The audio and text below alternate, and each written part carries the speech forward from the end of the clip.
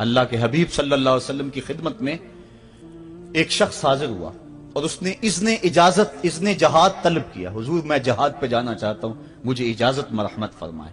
हुजूर ने फरमाया वालिदा का, क्या तेरे वालदेन ज़िंदा हैं? काला, नाम, अर्ज़ की हाँ हुजूर, मेरे वालदेन ज़िंदा हैं।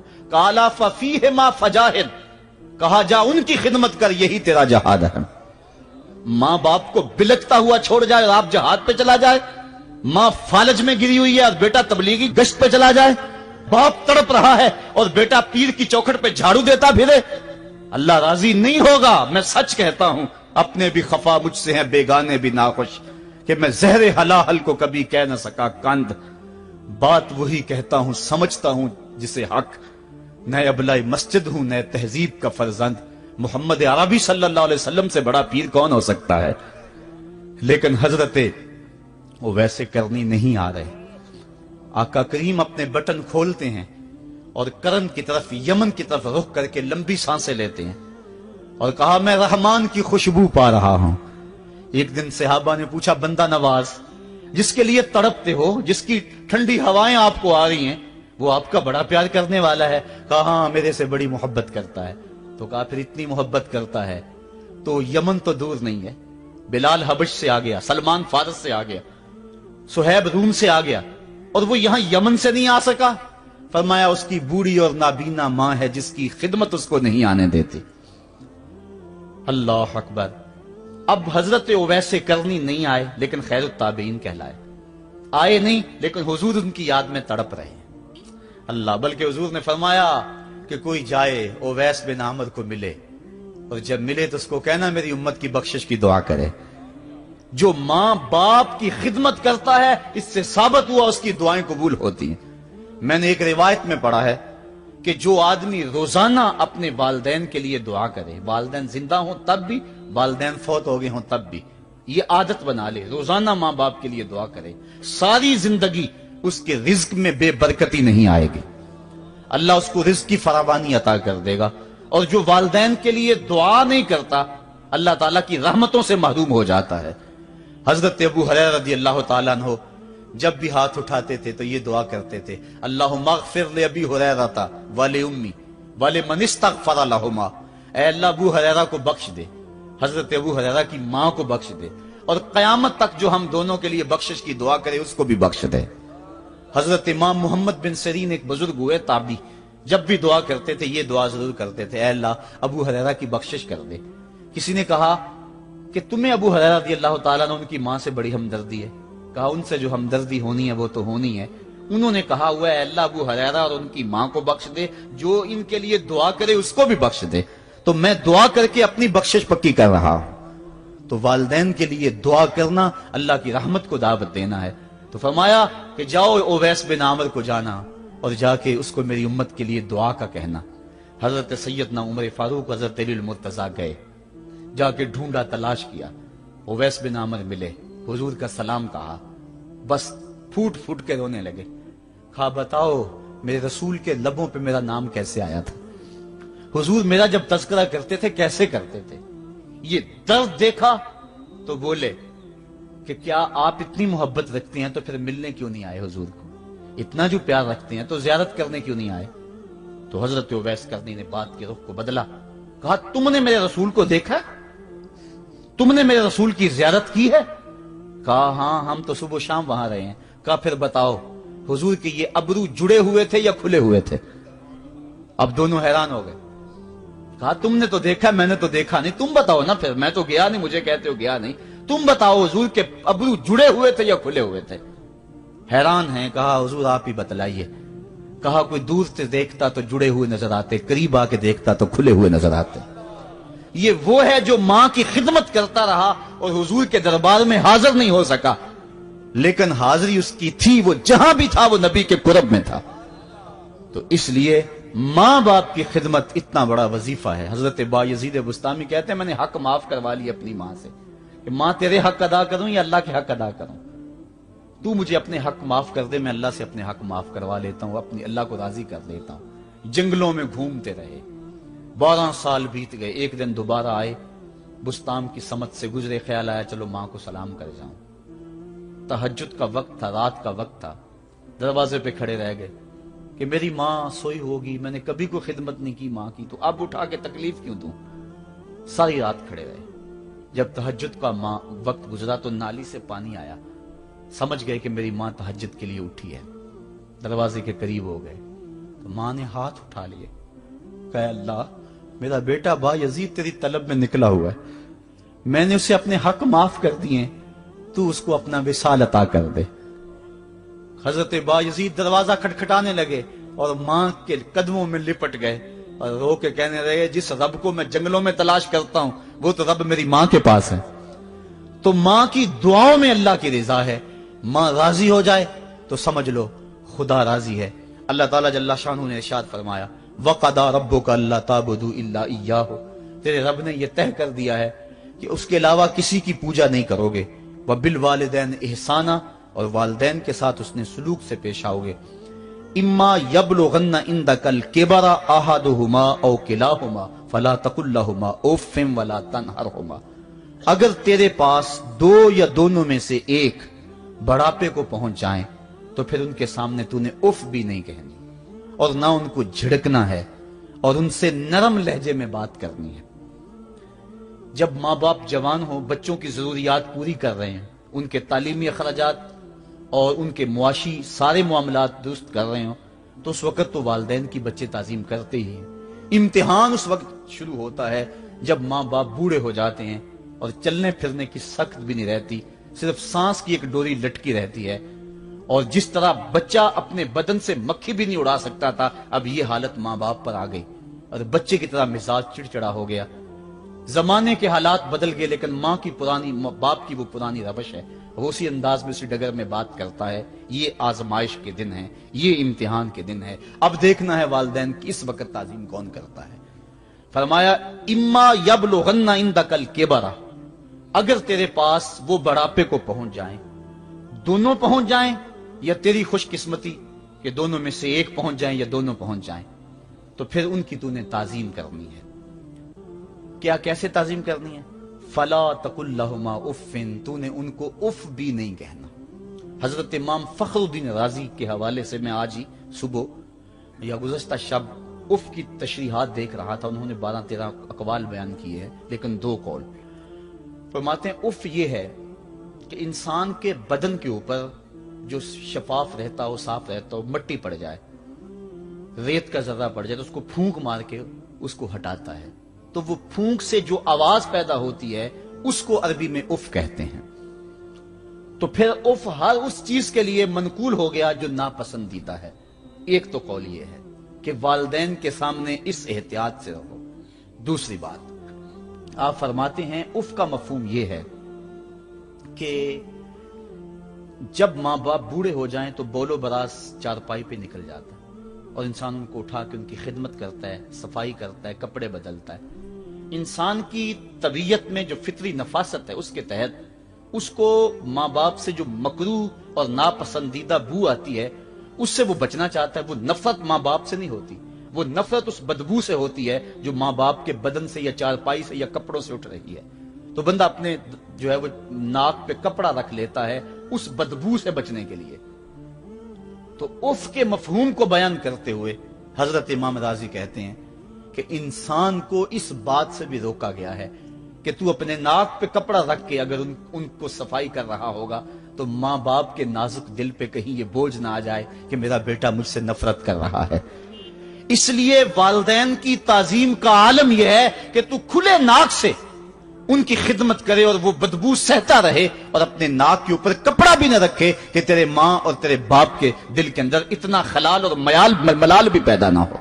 यह है उफ का जुमरा हज़रत इमाम हसन रदी अल्लाह तु ने सारी ज़िंदगी अपनी वालदा हज़रत फातिमा तो जहरा के साथ बैठ के खाना नहीं खाया था। एक दिन हज़रत सैदा फातिमा ने फरमाया कि, बेटा मेरा जी चाहता है कि मेरे साथ तुम बैठ के खाना खाओ। लेकिन तुमने कभी भी मेरे साथ बैठ के खाना नहीं खाया। क्या वजह है इसकी? तो हज़रत इमाम हसन फरमाने लगे, अर्ज़ करने लगे, अम्मी, मैं इस डर से आपके पास बैठ के खाना नहीं खाता कि कहीं किसी लुकमे की तरफ़ आपकी नज़र बढ़ जाए और मैं अदमे आगही की वजह से अपने हाथ को उस लुकमे के पे डाल लूँ और ना जान सकूँ कि इस लुकमे को उठाने का इरादा मेरी माँ के दिल में पैदा हो चुका है। और मैं अल्लाह की रहमतों से महरूम हो जाऊँ। इस डर से मैं आपके साथ बैठ के खाना नहीं खाया करता। यानी माँ बाप की ताजीम का आलम यह है, उफ तक ना कहो, हज़रत सईद अब्दुल मुसैब रदी अल्लाह तहो जलीलुल कदर ताबी हैं। वो फरमाते हैं कि वालदेन के सामने बेटे की हालत क्या होनी चाहिए? फरमाते हैं, जिस तरह भागा हुआ गुलाम पकड़ा जाए और उसको पकड़ के जो है वो आका के सामने पेश कर दिया जाए। तो उस भागे हुए गुलाम को पकड़ के जब आका के सामने पेश कर दिया जाए तो जो हालत उस गुलाम की होती है, बेटे की हालत ये माँ बाप के सामने होनी चाहिए। अब उन बेटों को सोचना चाहिए, जो अपने माँ बाप को दकियानुसी का ताना देते हैं। और समझते हैं ये ओल्ड फ़ैशन है, इन्हें क्या पता जमाना कहाँ चला गया है। और उनके फैसलों को मुस्तरद करते हैं।